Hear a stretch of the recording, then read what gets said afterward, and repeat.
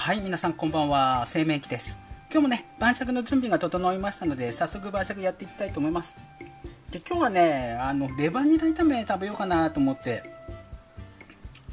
あのスーパーね見に行ったんですけどもレバーのいいのがなかったんでね代わりに豚タン買ってきてね、えー、豚タンの肉ニラ炒め、ね、レバーの代わりに豚タン使ってね作りました。それとねタコのねお刺身タコのねブツのお刺身がね安いのあったんで今日はね久しぶりにタコのねお刺身もつけてこんな感じでね晩酌やっていきたいと思います。では早速飲み物ねちょっと今日は目先を変えて朝日さんのスタイルバランスのね期間限定のぶどうサワーテイストっていうのがあったんでねまあ秋なんでねぶどうのサワーテイストもねいいんじゃないかと思ってね今日はこれでいただきたいと思います。よいしょ。では軽くねシュワシュワっと。あそんなに色はついてないですね。ほんのり紫色がついてる感じで。で焼酎ね。生協さんの、えー、焼酎亭っていう焼酎をこれにね小分けにして冷やしてます。これを少しこう入れてね。でかき混ぜて。もうちょっとこうぶどうっぽい色ついてるのかなと思ったけどそんな色ついてないですね。こっちだと缶だとこうねわかるかな？こんな感じで結構ぶどうのねぶどうジュースみたいな色になってるパッケージなんですけども実際はかなり色薄いです。ほらほんのり紫かかってるぐらいですね。ではねこのシュワシュワねえーと、皆さん今日もねお疲れ様でした。ではシュワシュワでね乾杯したいと思います。じゃあお先に失礼していただきたいと思います。じゃあシュワシュワで乾杯。うん。うん。ほんのりぶどうテイストって感じですね。うんうんうんうん。さっぱりして美味しいですね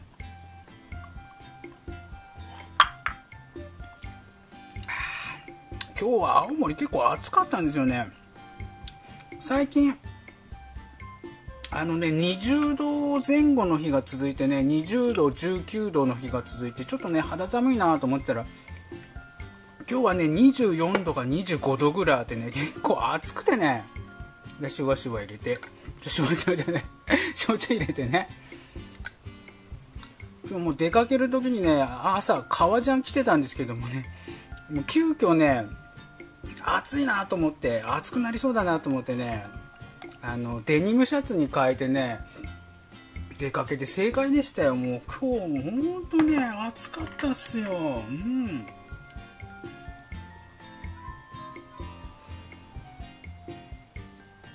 ではまずはね豚タンの、えー、肉ニラ炒めね。レバニラのレバーの代わりに豚タン使ってね。ちょっとラー油をねラー油をかけるとね味がねピリッと引き締まってうまいんですよ。これでねいただきたいと思います。よいしょ。こんな感じですね。レバー。レバーじゃない。豚タン。豚タンね。うわ。ちょっとねちょっと野菜の水気が出ちゃってますけども。よいしょ。うまく食べられるかな。この辺にね野菜。もやしとニラがね入ってます。であちょっとねおねぎね。おねぎをおねぎをのっけて豚タンね。よいしょ。これでねまず一切れね豚タンいただきます。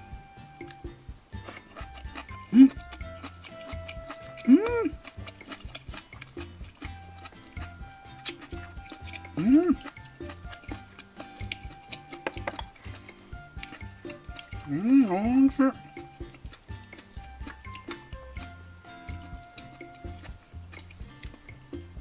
レバニラのねレシピの味付けで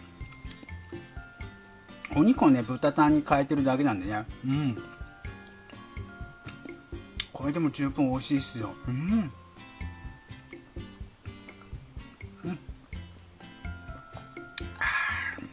うん、美味しい。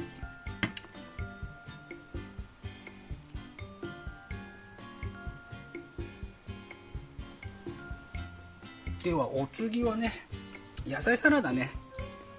今日の野菜サラダはまた作ったやつですね。トマトも安いね。お勤め品のトマトが買えたんで。ちょっとね小ぶりなトマトですけどもね。1個のっけました。でまたちょっとね今日もこれ全部ね食べると量がちょっと多いんで小分けにしてねただきたいと思います。よいしょ。これにね小分けにして。今日もちょっとねお昼食べ過ぎちゃってね。うーん。最近なんかすごい食欲が出ててもう体重どんどん増えてっちゃってて。もうなんか知らないけどね食欲が止まんなくてね最近。やばいんですよ。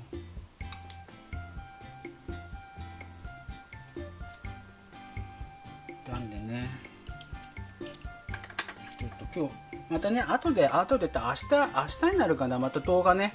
今日のお昼の様子も動画撮ったんでねそれも編集してアップしたいと思いますけどもね。では利権さんのね癖になるうま塩。これを少しかけてでエバラさんのねおろしのタレ。これも少しかけてね。よいしょ。これでいただきたいと思います。ではトマトから。いただきます。うん。うん。サラダチキンはいつもの生協さんのねサラダチキンですねこれ。よいしょ。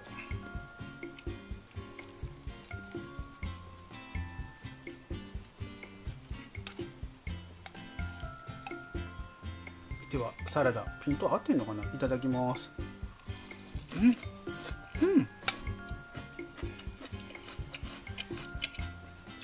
今日はねバイクで出かけてねでせっかくなんであのモスバーガー行ってねあのー、スパイシーモスバーガーとか買ってきてそれお昼に食べたんですよ、うん、なんで結構ねお昼がっつり食べたんでねそんなにお腹も減ってなくてね。またねあの動画編集してね。まあ明日あたり。まあ明日。明日ってまあこの動画を撮影してる次の日ってことですね。あたりねまたあの動画アップしようかなと思ってますけどもね。うん。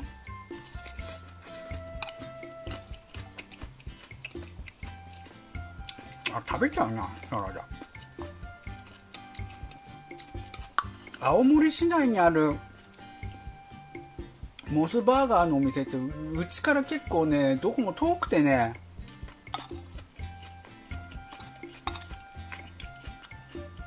なかなか買いに行けないんですよ。なんでバイクでねちょっと出かけたついでにねモスバーガーさんまで久しぶりに行って。あ富士山、ね、今日はモスバーガーねお昼食べたんで。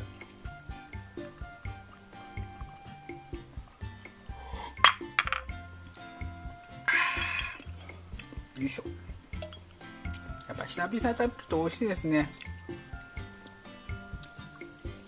マクドナルド、まあ、うちの、まあ、うちは近所にねマクドナルドさんとケンタッキーさんあるんでね。でまあケンタッキーさんは結構しょっちゅう出てきますけどもマクドナルドさんもたまに食べますけども。でモスバーガーさんはちょっとね家から離れてるんですよね。あとココイチもすごい遠いんですよ。青森市市内にココイチ1軒しかなくてね前はあの青森駅前にもねあったんですよねココイチさん。でそこでねあの食べたりとかしてたんですけどもね今あ駅前の青森駅前のココイチさんなくなっちゃってね。うんでちょっとねあの遠いところにね一軒あるっきりになっちゃってね。うんココイチさんのカレーも食べたいんですけどもねなかなか行けなくてね。うん。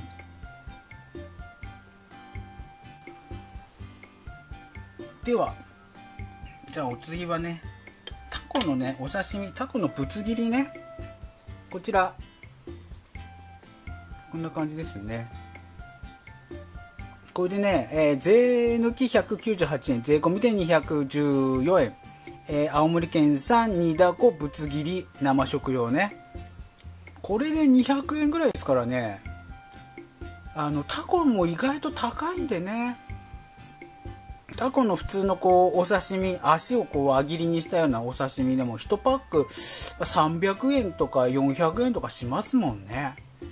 なんでね、まあ、200円ぐらいでねぶつ切りでちょっとね不格好ですけども十分かなと思ってね私切り落としとかねそういうの好きなんで。またね見つけて買ってきました。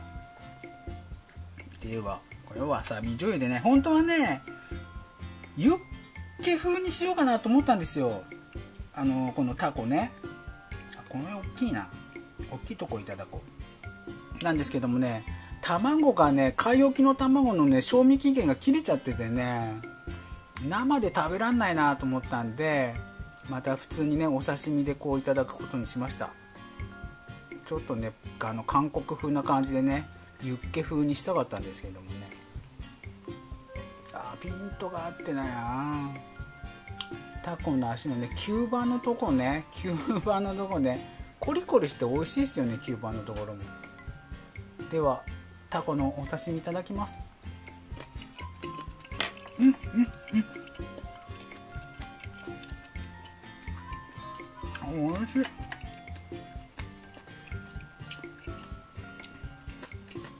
このこれって水だこっていうんですかね？あまり私よく詳しくは知らないんですけど。これってたこ焼きに入れるタコじゃないですよね。たこ焼きに入れるタコってどんなタコなんですかね？スーパー青森でスーパー行くと大体これこのお刺身用のねこういう水だこっていうんですかね。ちょっと、うん、はっきりと分かんないですけどこういうタコか酢だこになっちゃうんですよね。でたこ焼きに入ってるようなああいうタコってあんまり見かけなくてあの動画とかでも皆さんたこ焼きね作ってらっしゃいますけどたこ焼き用のタコってどういうタコ使ってらっしゃるんですかね皆さんね。ちょっとねたこ焼きもちょっと作ってみたいなと思うんですけどタコをどういうタコを買っていいんだか分かんなくてね。では日本酒ねちょっぱり。青森県のね弘前市の地酒のねちょっぱりまたいつものやつ、えー、ピント合ってないかな。ピントわちょっと来ないかな。あの六花酒造さんっていうね弘前の青森県弘前市の地酒になります。あピンとこないですね。ピンとこないですね。申し訳ないですね。青森市青森じゃない青森県の、えー、弘前市ので六花酒造さんで作ってるねちょっぱりっていう青森県の地酒になります。これいつもねうちの動画で飲んでるやつなんでね昨日も飲んだんだっけかなこれ。あ昨日もね昨日はあのー、八甲田おろしを飲んだ後にちょっぱりさん飲んだのかな？よいしょ。ではタコね。タコのお刺身にちょっぱり合わせていただきます。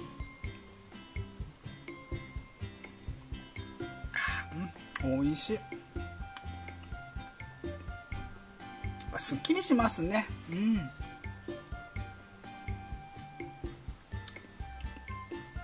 うん。すっきりする感じですねそんなに辛さもねそんなに辛辛ピリピリするほどの辛さではないですけどもやっぱキリッとしますよね。うん。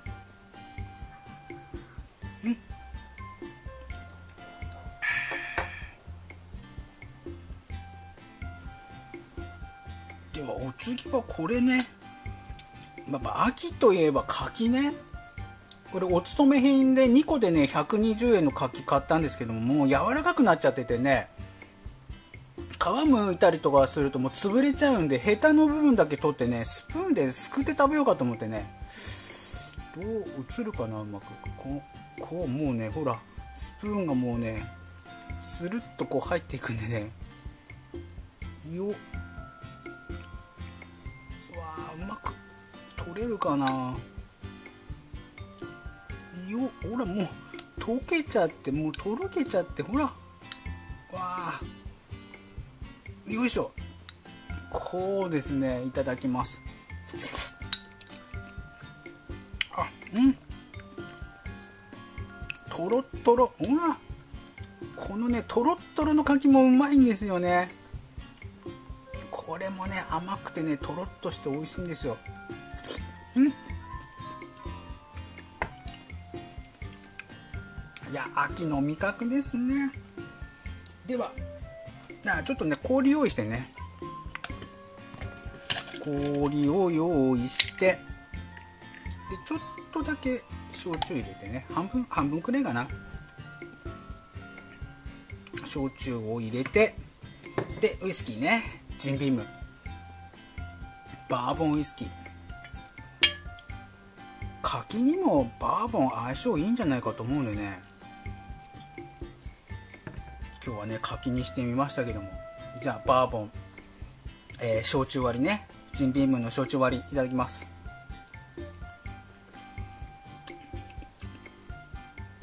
うん。柿の香りとも合うんじゃないかな。バーボンの香りって。うん。うん。柿が甘くてねバーボンがね辛くてねなんかその対照的な感じもいい感じですね。うん。うん。バーボン結構ね香り柿の香りとも結構合う感じしますね。梨も美味しいんじゃないかな。梨と合わせても美味しいんですけども。柿とかでも美味しいですね。うん。ではじゃあまたね。豚タン。よいしょ豚タンいきたいと思います。豚タン皆さんのとこで豚タンって売ってますかね？スーパーとかで。うちの方だとねどこのスーパー行っても大抵あどこのスーパーってわけでもないか。別にどこに行っても売ってるってわけではないですけど、まあ、割と手に入りやすいですよね豚タン。よいしょ。あちょっとネギも欲しいな。ネギを少しのっけてわあちょっとつゆがこぼれる。これでね豚タンのこのもやしとニラとね一緒に炒めたやつねいただきます。うん。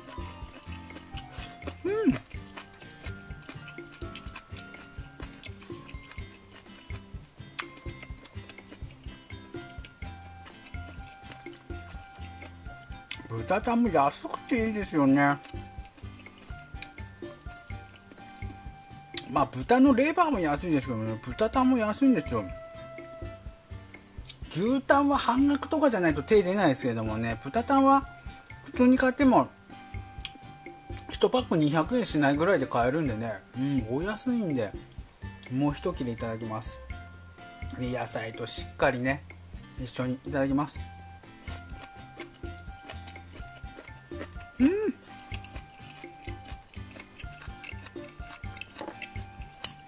おいし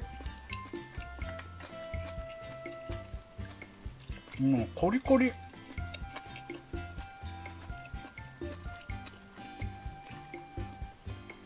ではねあとはねまた動画かアニメかなんか見ながらね続き晩酌やっていきたいと思いますでは今日も最後までご視聴していただきましてありがとうございました。また明日動画編集してねアップしたいと思いますんでよろしくお願いします。じゃあシュワシュワでね。シュワシュワ飲んで。